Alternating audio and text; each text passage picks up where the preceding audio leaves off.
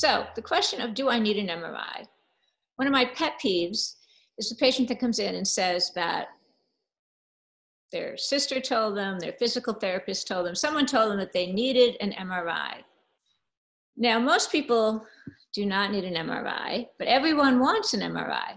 Um, when I was a resident, we were, MRIs were eh, newer, I guess. And actually, in the beginning of the 80s was when they really became popular. But uh, so they were fairly common, but now it, they're even more common. And there was a study, a recent study, that showed that disc degeneration is present in pretty much everyone after the age of 60. But most of these people do not have any symptoms. And even in patients who are 30 to 39 years of age, on their MRI, they'll have disc bulges, they'll have disc herniations, they'll have disc degeneration, and they have absolutely no symptoms whatsoever. So getting an MRI and finding something on it really doesn't mean anything unless the patient has symptoms that go along with the findings on the MRI, and often they don't. So if you are considering surgery, yes, you need an MRI.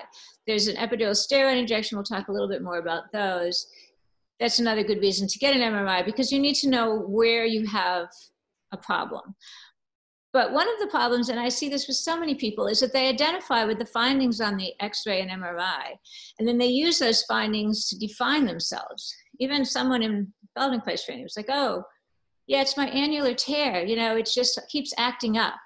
And annular tear probably doesn't keep acting up, but you know she sees that. That's sort of minor. Um, you know, my husband had back surgery before I even met him, and he's always very protective of his back. He used to play tennis. He apparently was very athletic. I've never known him to be athletic, partly because he sees himself as someone with a bad back, and it really limits what he does. And I see this with a lot of people.